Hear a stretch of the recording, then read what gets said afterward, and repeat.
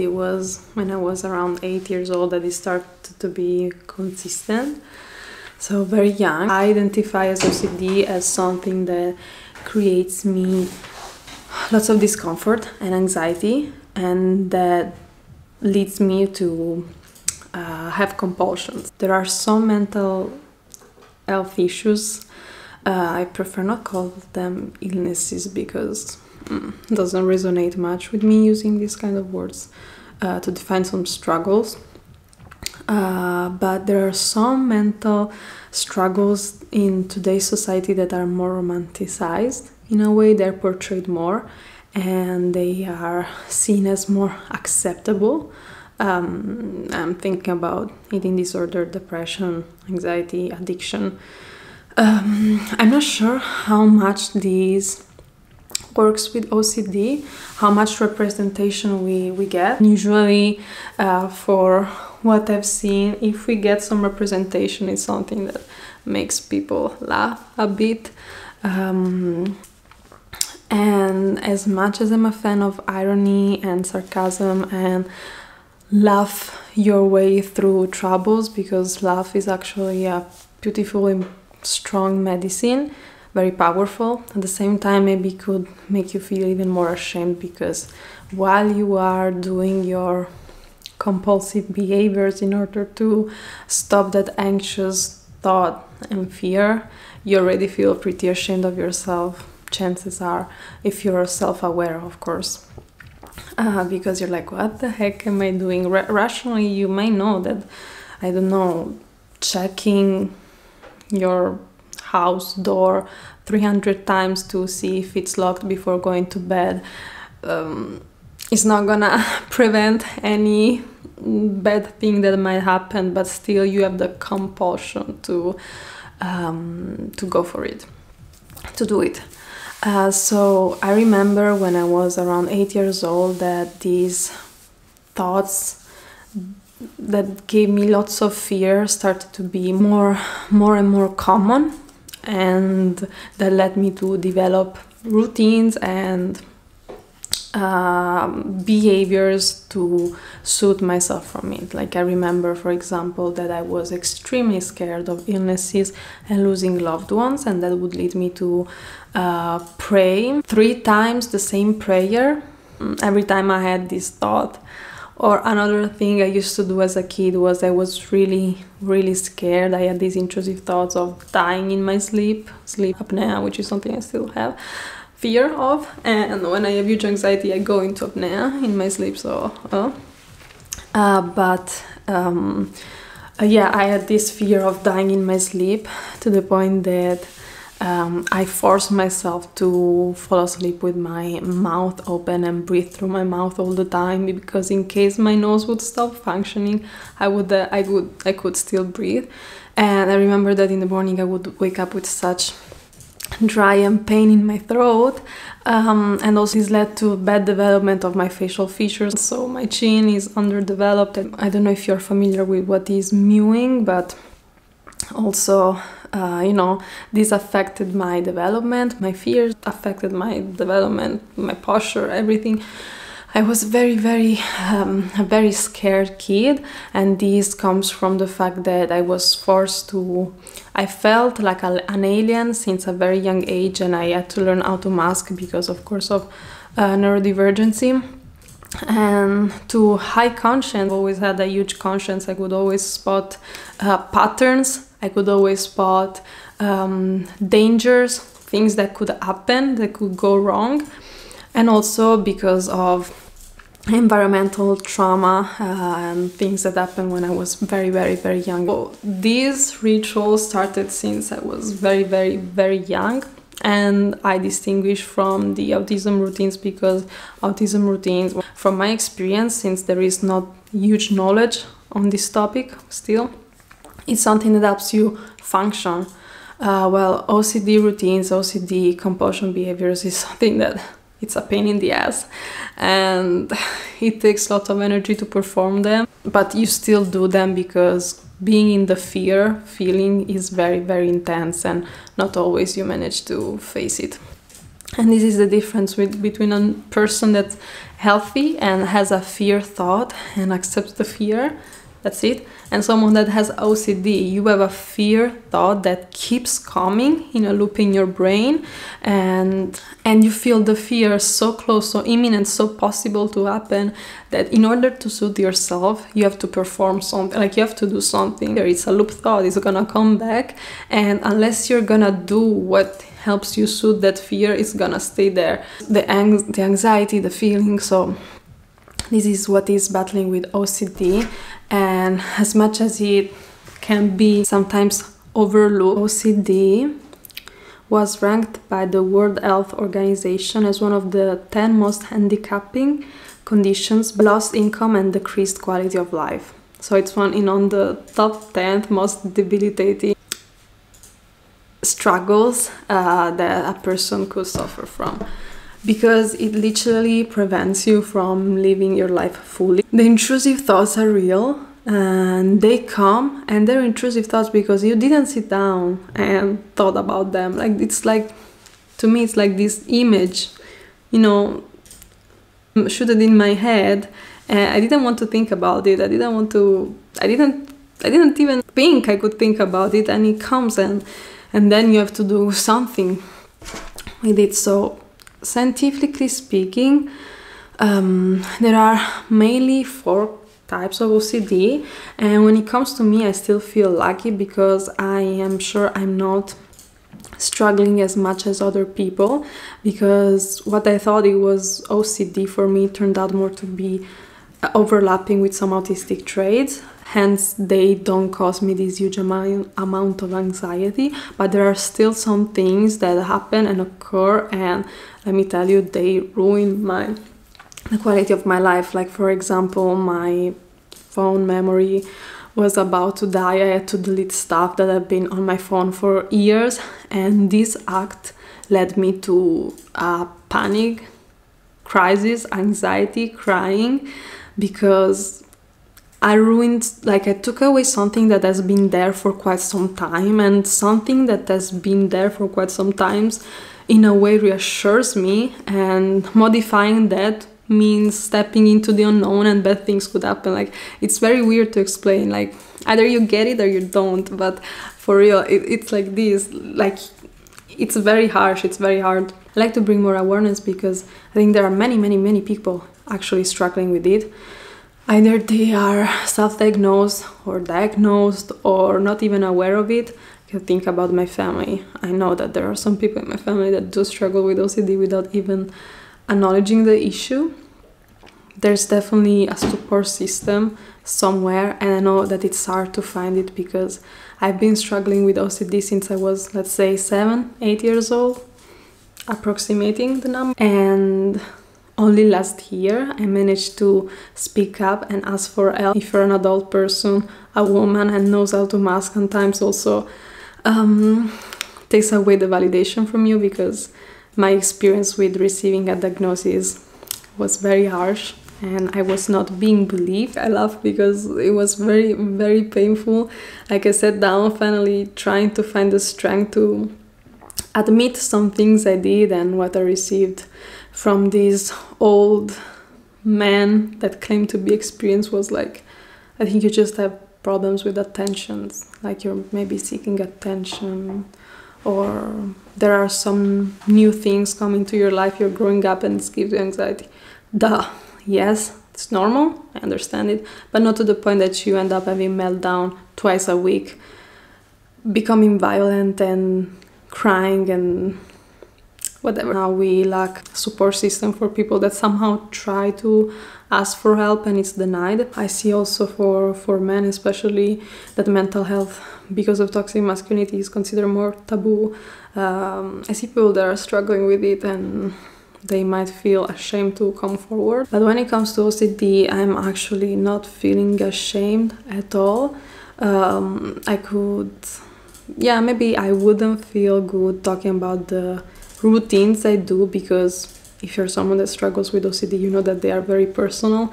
They are very also funny looking sometimes, and it's it's not the best. But I think that I would maybe in the near future also be able to share them because I understand that it's a struggle that needs to be overcome. That doesn't mean there's anything wrong with me.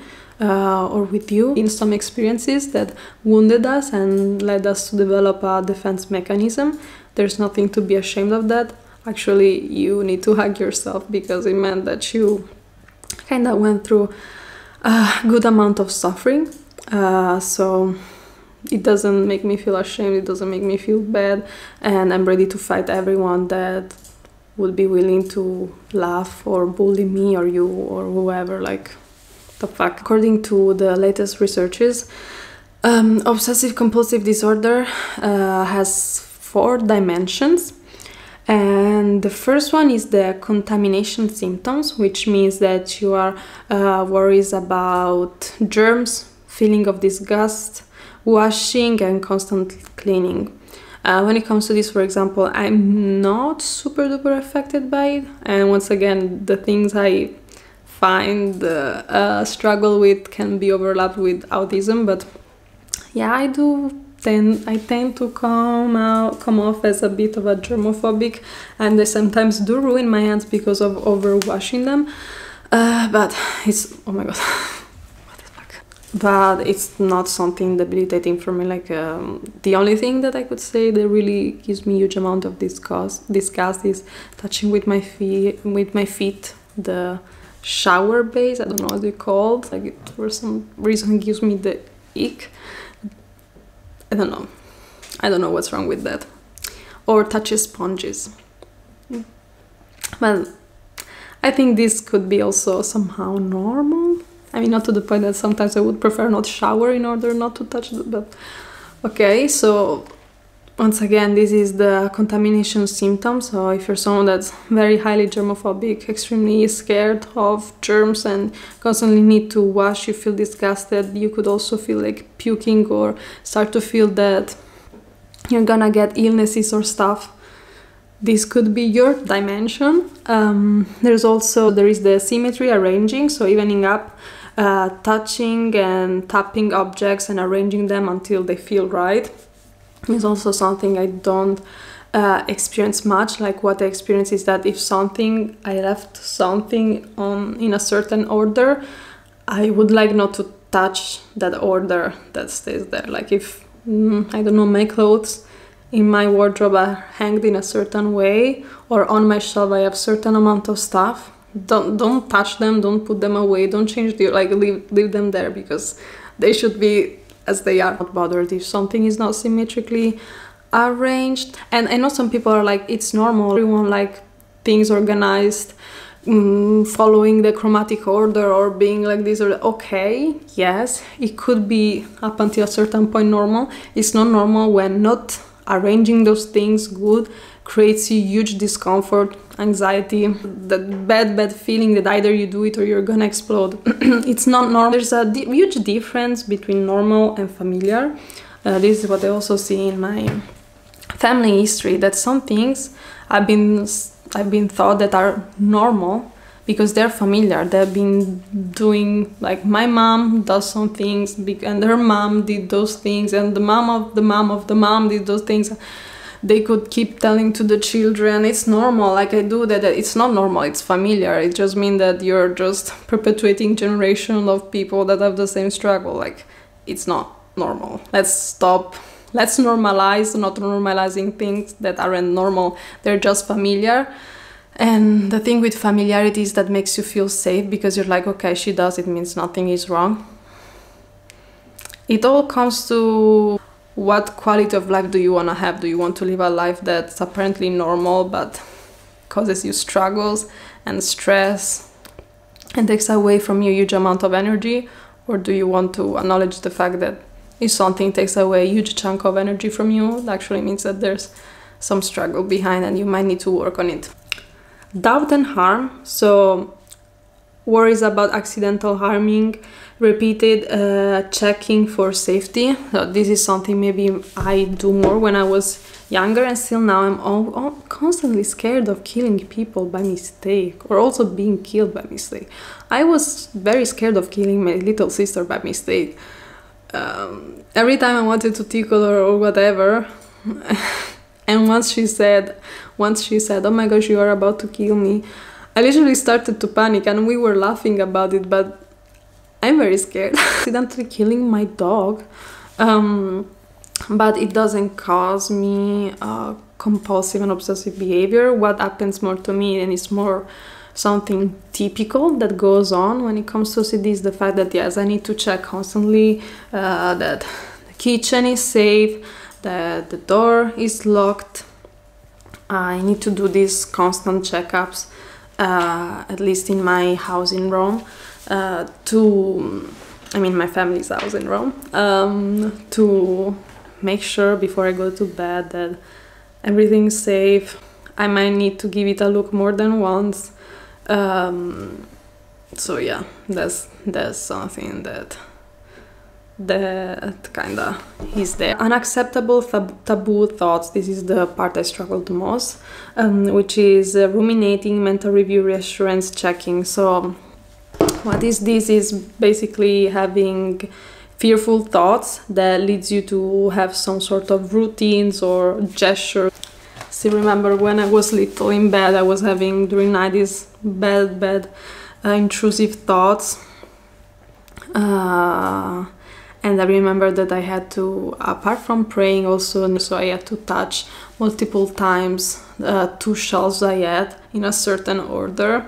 Um, so yeah, basically you have a thought and you need to do these sort of routines and do these gestures, praying, saying something, whatever helps you to soothe you and make you feel okay with yourself. And this also can be kind of disturbing because also sexual thoughts like sometimes your brain gives you intrusive thoughts of very disturbing stuff. It's often involves either incest or family members or just disgusting things or you being raped and like it's it's harsh. I don't know it's not beautiful to speak to say it out loud and this video might need to have some age limit uh, but it is how it is. Like it's like this. It happens and you feel ashamed because it's still your brain. You're like am i thinking this stuff? Like am i a psychopath?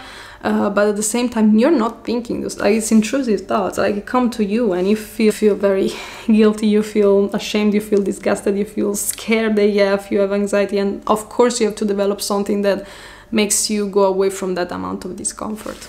Now what i've learned in my experience is that i'm not sure i'm gonna get rid of ocd um, doesn't make me depressed much because I've been struggling with it since I was a kid. So honestly, I don't even know how I would look like without uh, OCD. Same time, I know that if you have the strength to work on your on your resilience and you can train yourself a bit when you feel like it to stay in the discomfort and fear, I can see that um, thanks to therapy and some support I've been managing to gather and as I said before support didn't come easy as well. Like you have to not only not only you're struggling you also have to fight to get the right amount of support to receive validation the right amount of the good kind of treatment uh, but I can see how it's going slightly better and I'm learning to ground and work on body regulation when it comes to that huge amount of fear and anxiety that leads me to do those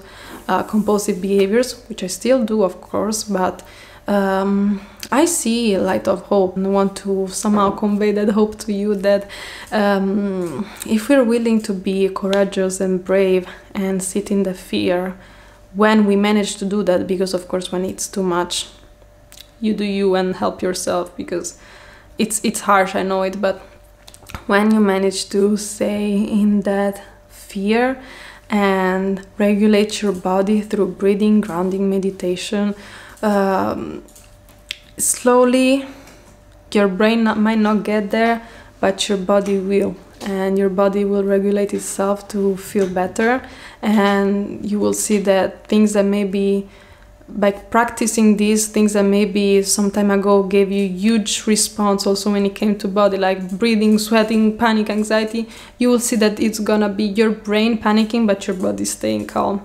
And i think that in this might lie a solution. Of course there are many solutions to treat ocd i i am personally not taking any medication or anything just because um, I want to, for once in my life, um, do what feels right for me, and I seek help in these kind of practices as much, and also knowledge and also spirituality. So having OCD sucks. Having OCD is debilitating. Um, if you put on top of that other struggles, ADHD, anxiety, eating disorder, depression, wh whatever, it's it gets tough. You have complete validation from me. I'm hugging you, but also think that you have power in this. Still your brain, like it's still you. You have power over this. You have you you can have control. Having control can also mean uh, accepting that sometimes you don't have the control and let it flow. You're in control, you're still in the driver's seat, you just have to somehow crack the code to reclaim that power. But I know that right now you might feel like a ship in the stormy sea. You're gonna get there, you're gonna get to the land, um, no matter how stormy the sea is gonna be. Some days are gonna be calmer, some days are gonna be very stormy, shitty weather. You are not completely 100% a victim of this. You should, you know, you shouldn't just be like, I ah, give up. My mental health is not is preventing me from living. My mental health is this is that because the, your mental health is still you. Like it's still you. You can still have beautiful times. You can still live a beautiful life while also going through some shitty times. Like i know it doesn't make much sense but you can still enjoy life while having a problem. Focusing on the struggle constantly without building also something else to look forward is never the solution. You is you. You can live an amazing life even if you have OCD or even if you have any other struggle. Whether you might not be aware of it, your struggle is giving you some skills. And if you shift your mentality from being just a victim of it to, yes, understanding that these things are not pleasant and you actually need validation of your suffering, but also you're acquiring something and you are definitely stronger than you were or would have been without some of the things you go through. You put yourself back in the driving seat of your life. You have the power to change it, accept it, make the best out of it. Don't make your struggle carry you, but walk with your struggle with pride, as if it was a Birkin bag. Like, bitch, I have this problem and still I carry myself with so much grace, strength, beauty. I hope this video was something good, definitely something different from me and um, very very vulnerable but I love vulnerability. I really felt like doing this video like it was in my brain as I want to do other videos about my struggles not only because I like to appeal relatable to other people that might go through the same thing but because it's extremely therapeutic or not you know if you're not affected by these issues that it was informative for you especially maybe if you have someone close that suffer from ocd just be gentle with them and don't push them into doing anything it's uncomfortable for them. They are gonna heal at their own pace. Don't force them to break routine. Don't force them to don't call them germophobic. Don't be like oh my gosh you're weird because chances are the person already feels pretty bad about themselves. So if you do love them and care about them just sit gently next to them and let them do their let them do their their journey. And thank you for listening to sticking around to watch up until this point of uh, video. Chances are you're like one of the 2% people staying. Um, I wish you an amazing day. I send you lots of love and bye bye bye bye. Oh my god. Damn Beautiful, beautiful makeup. Like blend the blend the shitty eyeliner all over your face. I don't know how to say it in English. Ah.